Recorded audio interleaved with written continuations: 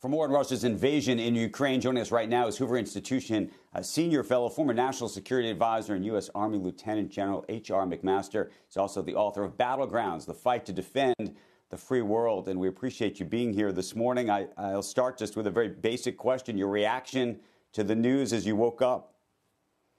Well, I, I think it's not a surprise, obviously. And, and as you were just discussing, the warnings have been there for a long time. And you know, it, it fits into the broader context of, of what Russia under Putin has been doing at least since 2007, and you could probably go back to, to 2000. So I think what's important to know is th- we're in this competition, in this fight for the long haul with Russia. Just consider that this is an invasion that began in 2014.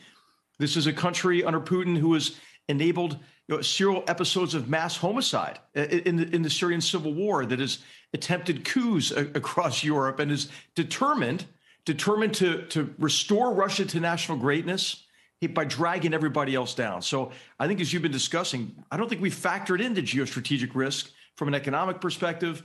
And add on to this now, right? Putin's visit to China just before this, during which I'm sure Xi, Xi Jinping greenlighted this and this growing relationship and alliance, I would say, between China and Russia, authoritarian regimes that I think are determined to dominate the Eurasian landmass. And, and this calls for a concerted response ac- across the free world. So, but let's talk about that concerted response and, and what kind of leverage you believe uh, the U.S. and its allies have if we do it all.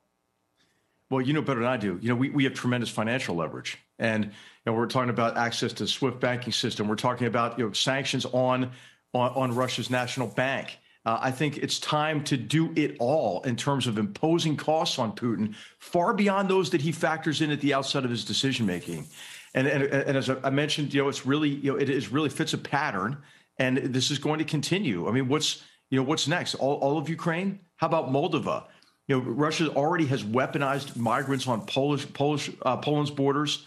You know, threatened the Baltic states with you know massive exercises on their borders as well. He's encouraging a Serbian separatist movement in the Balkans to, to reignite conflict there and reignite nationalist Serbian nationalist sentiment. So I, I think it's important for us to respond together. I think so far, so good, right? In terms of unity across the free world, we've had some bumps in the road there, especially those associated with Russia's ability to foster dependence on, on Russian oil and gas, right? Germany buys 50% of its natural gas and 41% of its oil uh, from, from Russia. So I think it's time for us to really take actions immediately, but also you know, we have to shore up our supply chains. You know, we have to recognize that supply chains that were optimized for efficiency uh, have neglected the resilience necessary to withstand some of these geostrategic risks.